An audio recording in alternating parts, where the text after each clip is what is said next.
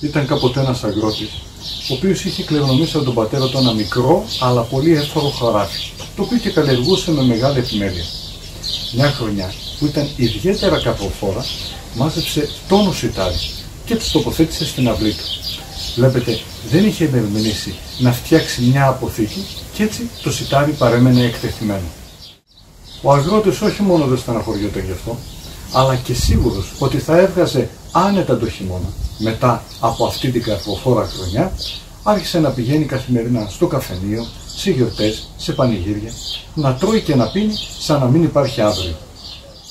Ένα μυρμήγκι, το οποίο τριγυρνούσε στο αλόνι, ακολούθησε τον αγρότη και έτσι μετά από λίγο βρέθηκε μπροστά σε αυτό το υπέροχο θέαμα.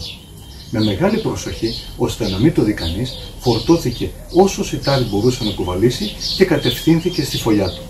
Όπως καταλαβαίνετε, την επόμενη μέρα γέμισε η αυλή του αγρότη με μυρμήγκια, τα οποία μέσα σε λίγους μήνες είχαν σχεδόν αδειάσει την αυλή του.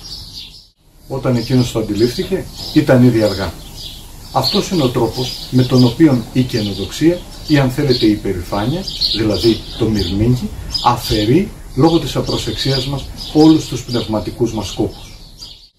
Προσοχή λοιπόν στο μικροσκοπικό μυρμήγκι, το οποίο μοναδικό σκοπό έχει να μας αφήσει φτωχούς από αρετές.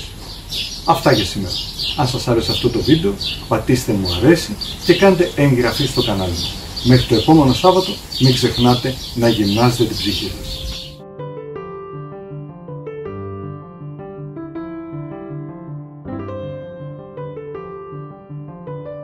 Αν σας άρεσε αυτό το βίντεο, πατήστε μου αρέσει και κάντε εγγραφή στο κανάλι μου.